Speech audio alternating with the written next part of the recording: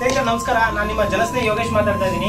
ಈಗ ನಾವು ಹಸಿದವರಿಗೆ ಒಂದು ಹೊಟ್ಟೆ ತುಂಬಿಸುವಂತ ಒಂದು ಸಣ್ಣ ಪ್ರಯತ್ನವನ್ನ ಮಾಡ್ತಾ ಇದೀವಿ ಈಗ ತುಂಬಾ ಜನ ಎಲ್ಲೆಲ್ಲಿ ಹಸ್ಕೊಂಡಿರ್ತಾರೆ ಅಂತ ಜಾಗಗಳಿಗೆ ನಾವೇ ವಾಲಂಟ್ರಿ ಆಗಿ ಹೋಗಿ ಎಷ್ಟೋ ಜನಕ್ಕೆ ಹಣ್ಣುಗಳನ್ನ ವಿತರಣೆ ಮಾಡುವಂತ ಒಂದು ಅದ್ಭುತವಾದಂತಹ ಕಾರ್ಯಕ್ರಮವನ್ನ ಮಾಡ್ತಾ ಇದೀವಿ ಸ್ನೇಹಿತರೆ. ಈಗ ಆಲ್ರೆಡಿ ನೀವು ನೋಡಿರ್ಬೋದು, ಒಂದು ಸಾವಿರಕ್ಕಿಂತ ಹೆಚ್ಚು ಹಣ್ಣುಗಳನ್ನ ನಾನು ಆಲ್ರೆಡಿ ತರಿಸಿಟ್ಟಿದೀವಿ ಈಗ ನಮ್ಮ ಜನಸ್ನೇಹಿ ತಂಡ ಯಾರು ಹಸ್ಕೊಂಡಿರ್ತಾರೆ ಅಂತವರ ಮನೆ ಬಾಗಿಲಿಗೆ ತಲುಪಿಸುವಂತ ಒಂದು ಸಣ್ಣ ಪ್ರಯತ್ನವನ್ನ ಮಾಡ್ತಾ ಇದೀವಿ